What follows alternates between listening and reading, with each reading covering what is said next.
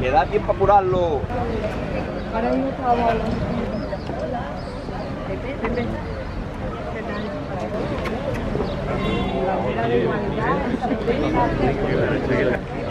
La batalla, pero muy contento.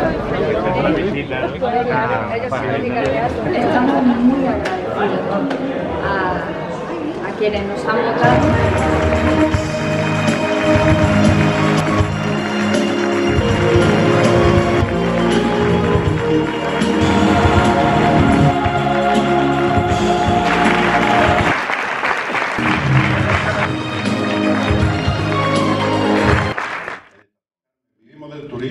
Muchas familias viven del turismo y el primer motor de ese turismo evidentemente son las playas.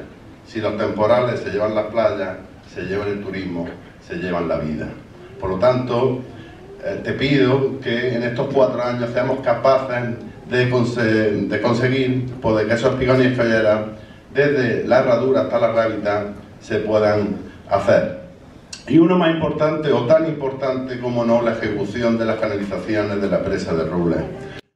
Y no tengáis ninguna duda, los vecinos y vecinas de Salobreña, que nuestra candidata, María Eugenia, con este pedazo de equipo, con la mirada larga, con el compromiso que tienen enorme por su pueblo, que hay que agradecerlo, con el compromiso enorme que tienen por su pueblo, van a conseguir hacer de Salobreña el pueblo que queréis, el pueblo que queréis, el pueblo con el que os ilusionáis y un pueblo referente, como ha dicho el presidente de la Mancomunidad, no solamente en la costa tropical, sino en la provincia de Granada. Ya lo soy, ya lo soy, ese pueblo referente en muchísimas cosas. Aquí el mérito no es mío, yo puedo adorar que lo hago a mi pueblo, tener grandes ideas, pero no podría sobrevivir si no tengo detrás lo que tengo, que es un pedazo de equipo. Y si no tengo lo que tengo ahí delante, que para mí es lo más importante, que es el apoyo de mi pueblo, es la gente, que es lo que le da sentido a lo que hago.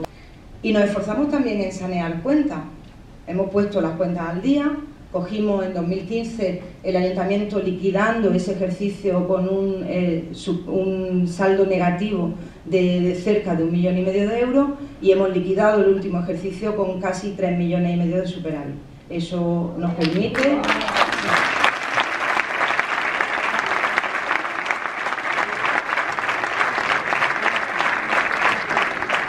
Eso nos permite acometer inversiones importantes y proyectos tan necesarios para un municipio como el nuestro, como no bajar nunca la guardia en la puesta a punto y la mejora y equipamiento de nuestras playas. Pepe, por cierto, ayúdanos a decirle a la Junta de Andalucía que algo nos tendría que dar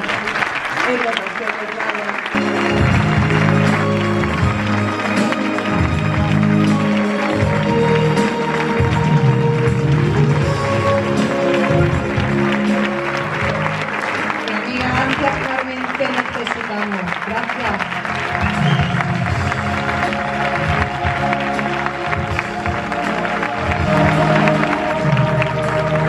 Primero, María Eugenia, gracias por invitarme.